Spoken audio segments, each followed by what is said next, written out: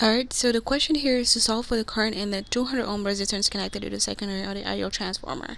So we have 200 ohm um, resist resistors, this one and then this one, but obviously the problem is talking about the secondary of the ideal transformer, so we're talking about this one here. So let's not get confused. So the, he's asking, they are asking for us to find the current through um, this current over here the secondary. Okay. So let's try to simplify this circuit over here. As you can tell um, this is not easy to find the current in this current uh, configuration. So let's try to simplify here. I can already um, see here that I have a current source and a resistor in parallel. So I can Thevenize that and have a voltage source in series with a resistor. We can do that. Okay? And then we can find whatever we have here for the ideal resistor. We can find that out using um, the formula in the book in the handbook. So let's do that. Okay? So simplifying the circuit. We'll have this this will still stay the same. We're not doing anything with it. So the 2 volts. And then we have 100 ohm still.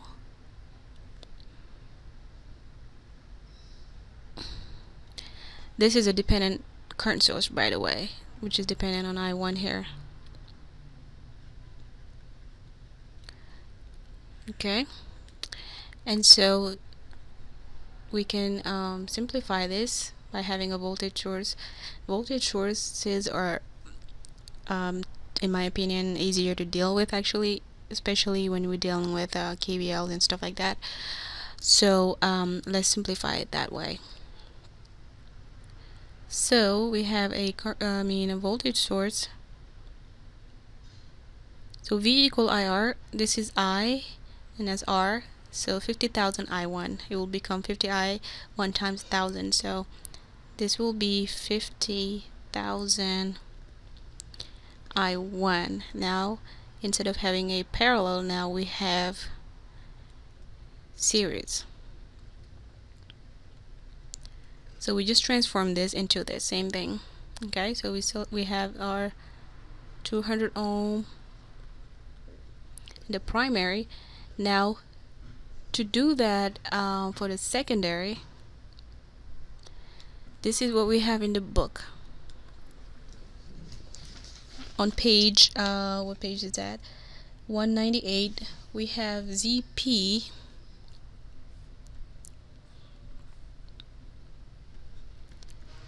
is equal to A square as in the turn ratio times ZS secondary okay.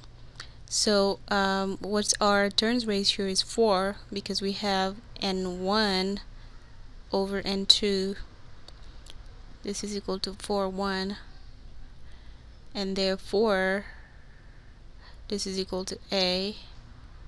And therefore a is equal to 4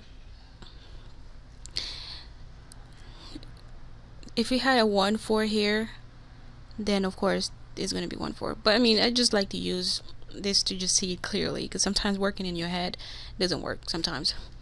Okay so a is equal to 4 and therefore to find uh, that particular resistance we will have to multiply by 16 and so we have here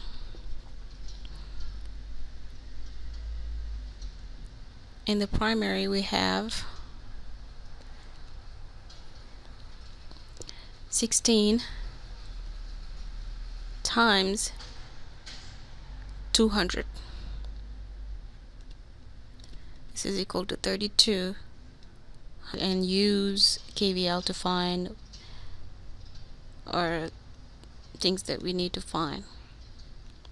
Remember that uh, the question was to find the current over here. Okay so now we have an I2 here uh, this was plus to minus here. We can assign um, going through this direction plus minus plus minus. Here we can have um, plus minus. Right, now we can use KVL alright so KVL through the first loop here we have um, going in this direction we have a voltage rise so that's 2 volts. Voltage drop minus 100 I1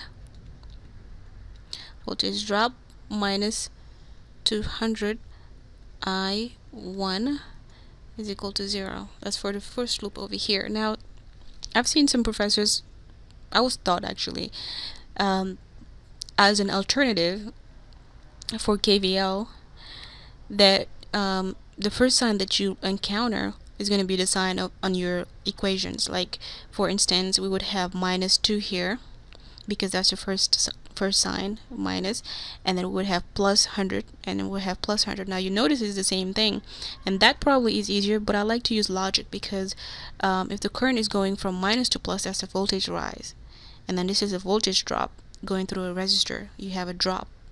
And then this is a drop. That's why I use minus signs. But if you find that you know using that sign encountering whatever is easier for you you can still do it that way because you, we still end up with the same result but I'm I'm so used to having like plus to minus is a plus you know and use a rise and a drop logic because that makes more sense to me.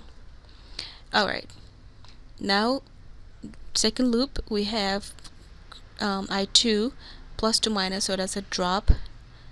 Minus 50,000 I1 plus minus plus minus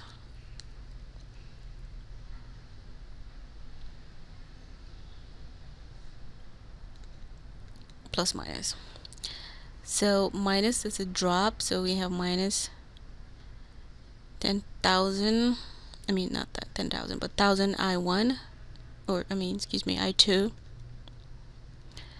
this is a drop again minus 200 I2 and this is another drop 3200 I2 all of it equal to zero. That's our KVL now we can just um, we have two equations with two unknowns. We can go ahead and calculate I2 here because we want to know the current over here. Again we're not concerned with I1 at all. Okay so uh, we have 2 is equal to uh, 300 I1 as such I1 is equal to 2 over 300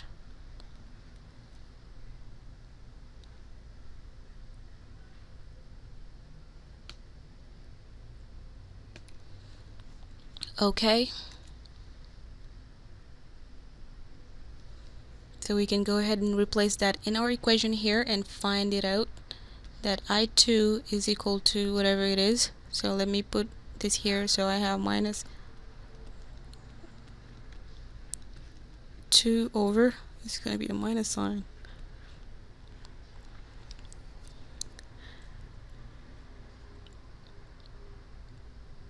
is equal to 1244 uh, hundred I do. Yeah. So 4400 I2 and so I2 is equal to let me use a calculator here 50,000 times 2 divided by 300 divided by the 4400 so that's 0 0.075 75 75 so that's 75 minus 0.75 milliamps. Okay so now this is what? What is this? This is the primary current. This is the primary current. Now we want to know what is the secondary current even though it says a 2 here but if you look at the circuit here we converted let me show you we converted the 200 into a primary load. Remember, ZP, A squared ZS. Okay, hope you're following the logic here. Even though it says I2 is not secondary current at all, this is, this particular, this I2 value is primary current. Let me write it down. This is primary current.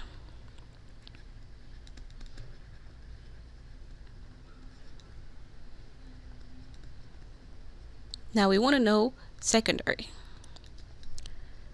Secondary. What do we do? Remember N1. Put that here.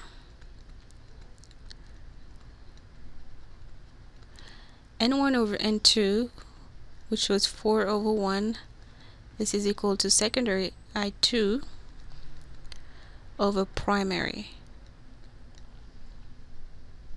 So I2 would be, now all real I2, let me call that um, secondary probably. Yeah, just to not confuse us. And then over, um, hopefully, yeah, but you get the point. This is secondary. This is primary. Let me use that. Otherwise, ones and twos will confuse you. So secondary. So I secondary now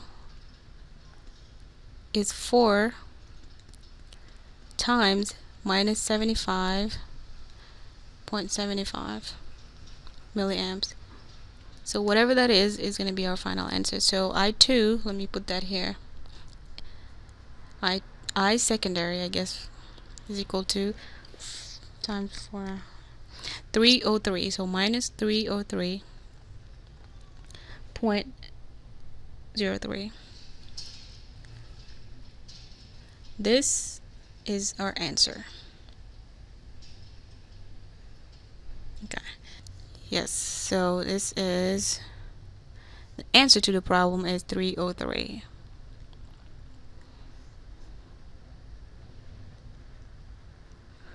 That's it. Thank you.